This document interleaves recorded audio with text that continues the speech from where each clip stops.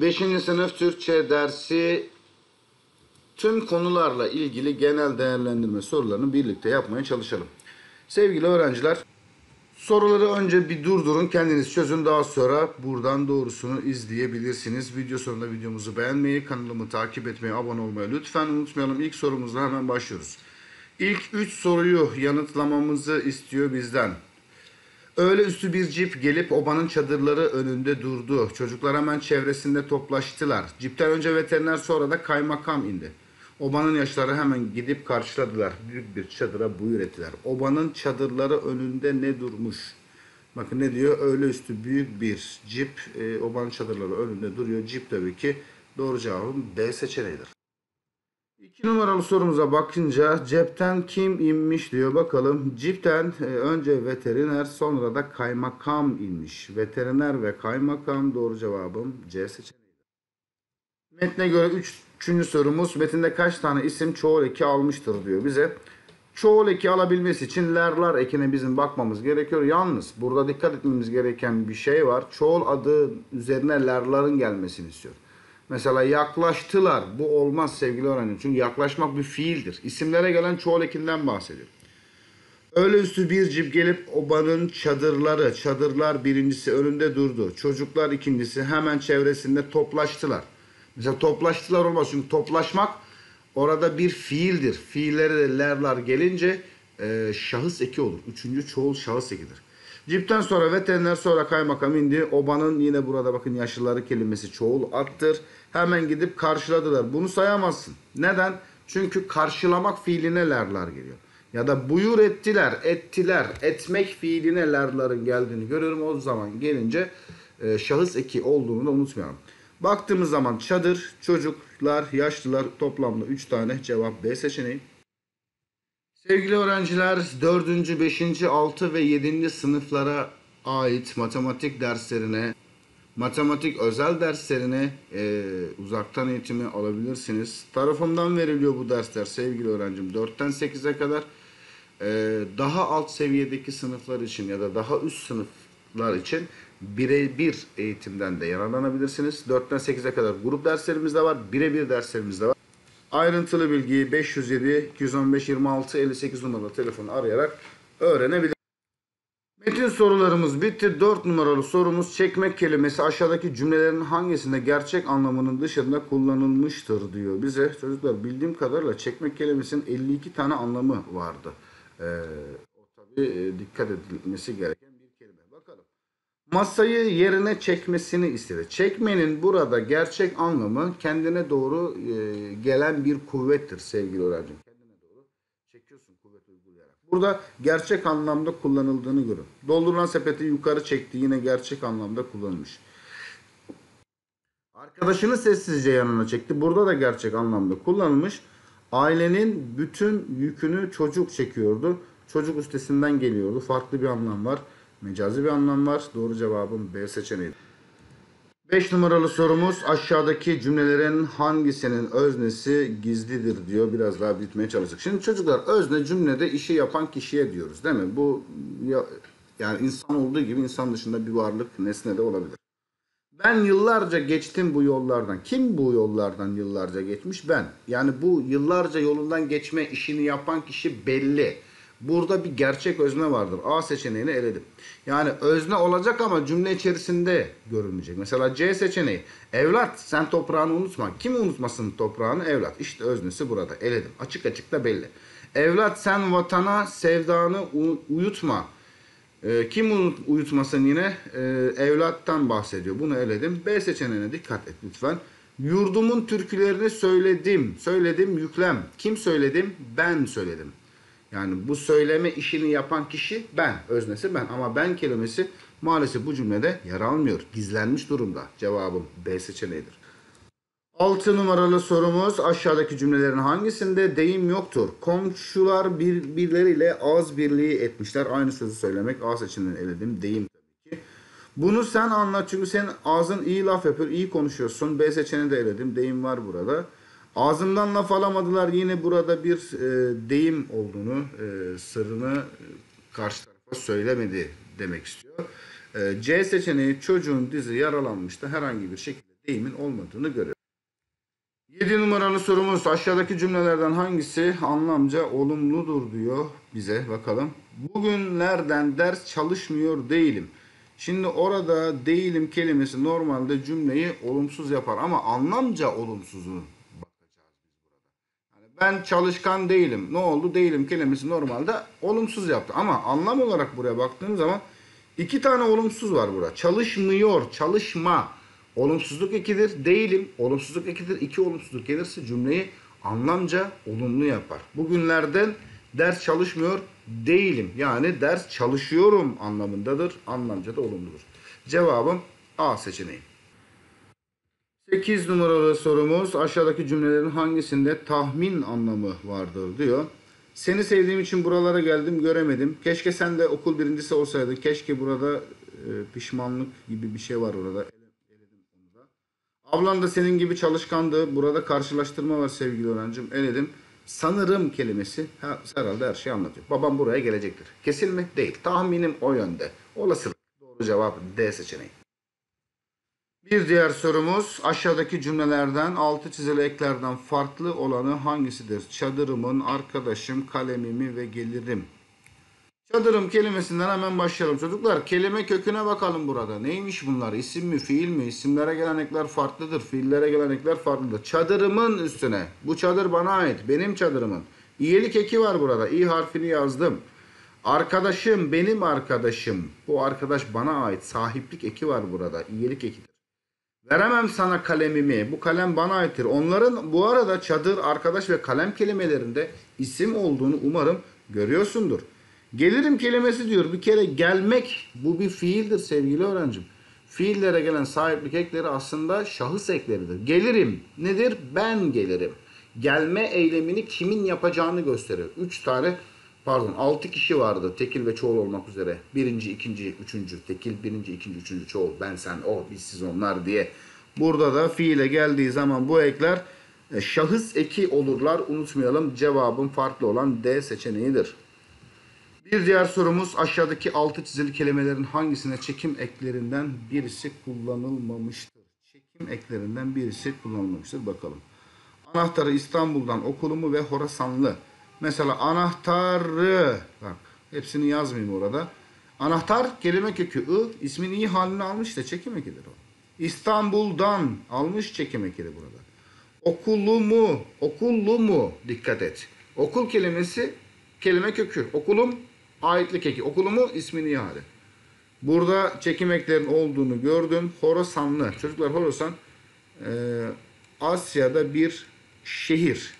Tıpkı İzmir gibi. Horasan bir şehir. Horasanlı dediğin anda Horasan'da yaşayan kimseler demektir.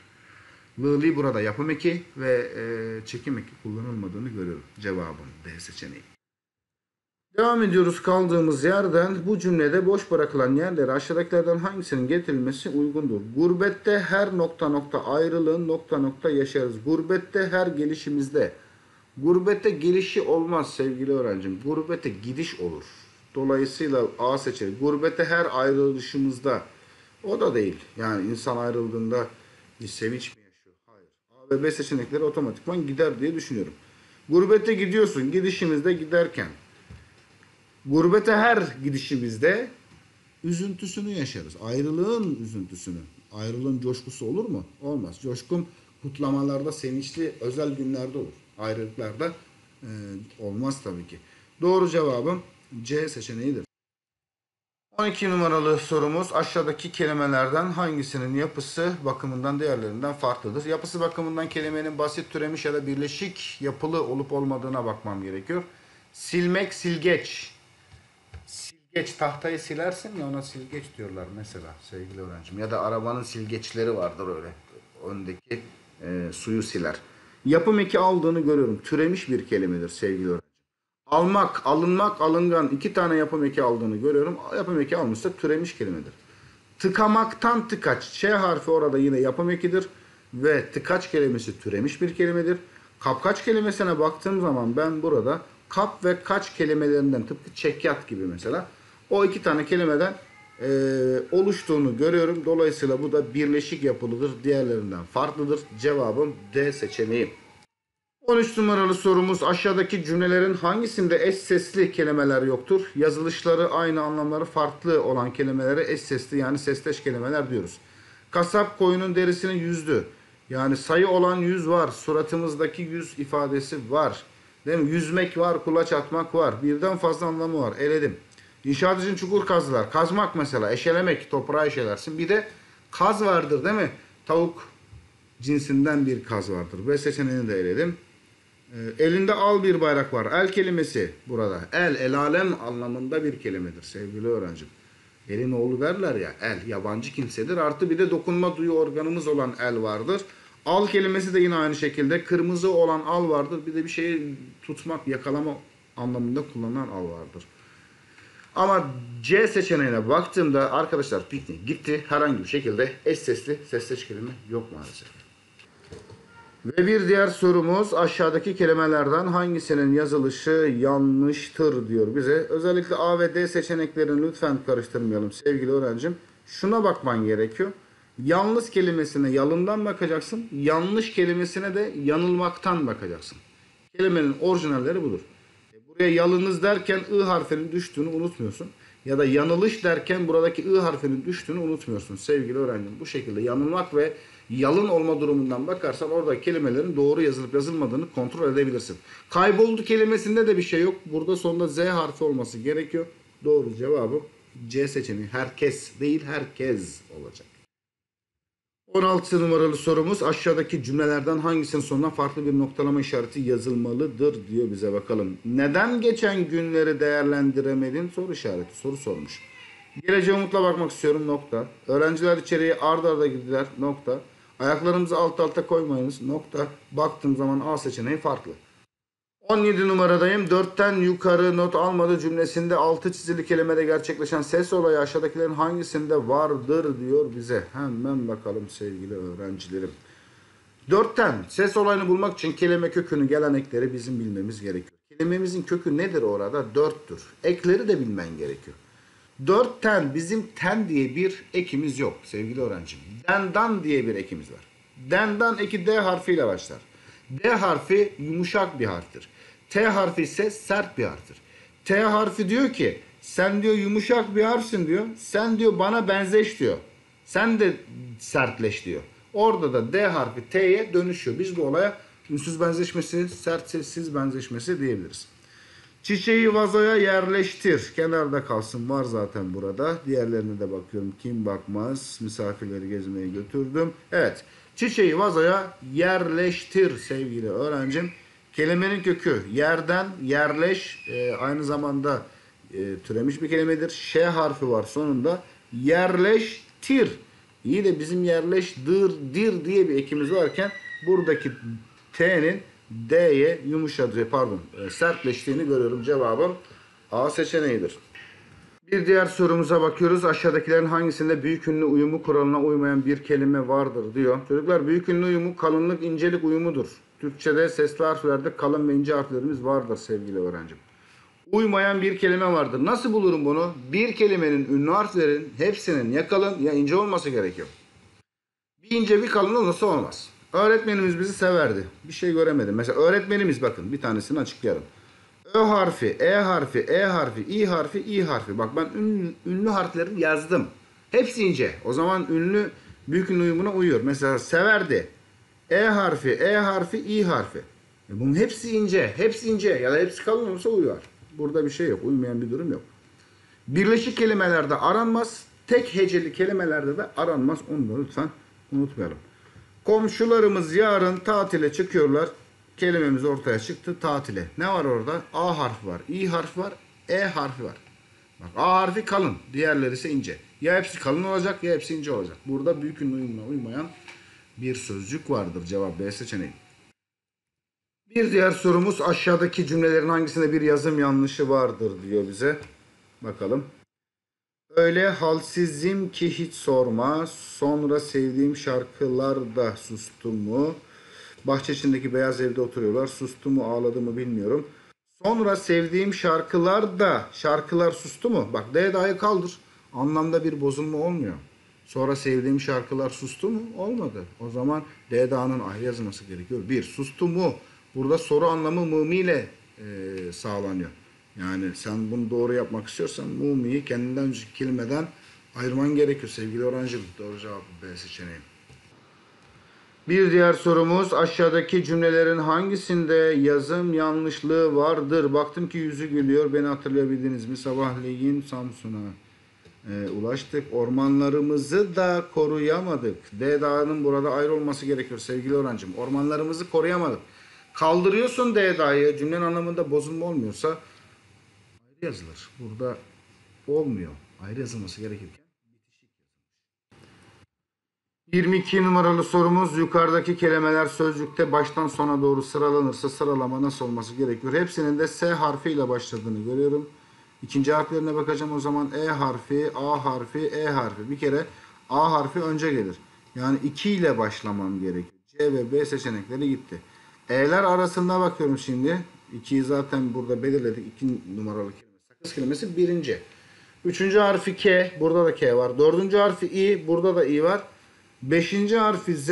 Burada harf yok. O zaman 8. 8'den önce gelmesi gerekir. 2, 3 ve 1 şeklinde yapılan sıralama. Doğru cevap A seçeneği. Yukarıdaki mısraların kaç yerinde ulama vardır diyor. Çocuklar ulama yine bir ses olayıdır. Kolay bir ses olayıdır sevgili öğrencim. Çok kolay. Şöyle ki kapının altı mesela. Kapının altı. Burada ulamada iki tane kelimeye bakman gerekiyor. Bir, arada noktalama işareti kesinlikle olmayacak. Virgül nokta. En ufacık bir tane bile olmayacak. Kapının altı derken bir kelimenin son harfi ünsüzle bitiyorsa gelen kelimenin ilk harfi e, ünlüyle başlıyorsa bu ikisi arasında ulama vardır. Ulama tek hecede söyleme. Ard arda söyleme. Kapının altı. Bak bunun hatta okunuşu şöyledir. Hecelerini ayırıyorsun ya uluyorsun. Kapını bak kapını son ne harfini gördün ya. Son ne harfi diğer kelimenin ilk hecesiyle söylüyor. Kapının al ve son hecemizde t. İşte buradaki o nal hecesinde bir ulama vardır. Mesela şu Yemen elleri ünsüz ve ünlüyle başlıyor. Elleri ne de yamandır. Giden gelmiyor. Dikkat et burada bak. Virgül var fark et onu. Yani normalde R ve A arasında e, ulama var ama virgülün olduğu yerde ulama olmaz. Çocuklar bir tane dikkatli bakıyorum gözümden kaçmasın de, diye Yemen elleri Yemenel diye de ulama yapabilirsin. Bir tane var cevabım. A seçeneğidir. Bir diğer sorumuz bütün emekler boşa gitti tümcesinin öznesi aşağıdakilerden hangisidir? Çocuklar bu cümle bazen özneler illa bir insan olacak diye bir durum yok.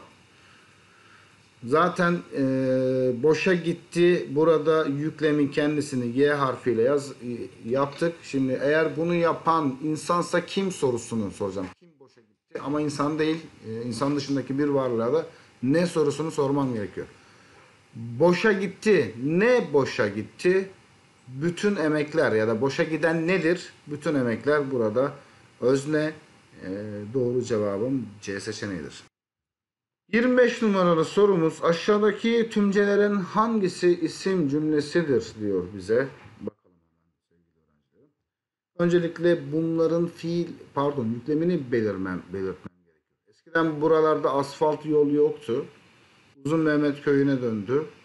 Ben bu sesi tanıyordum. Birden aklıma ilk bir fikir geldi. Yüklemleri belirledikten sonra gelmek fiildir. O zaman bu bir fiil cümlesi. Tanımak fiildir. Dönmek fiildir. Yok tıpkı var gibi var yok. Onlar da isimdir. Yok idi sevgili öğrencim. Ee, yokmak diyemiyorsunuz zaten. isim oldu oradan da belli. Yüklem isimse isim cümlesidir. Fiil ise fiil cümlesidir. Unutmayalım lütfen. Cevabım A seçeneğim. Çocuklar sorularımız burada sona erdi. Ee, video sonunda videomuzu beğenmeyi, kanalımızı takip etmeyi, diğer ders videolar için abone olmayı lütfen unutmayalım. Herkese başarılar diliyorum.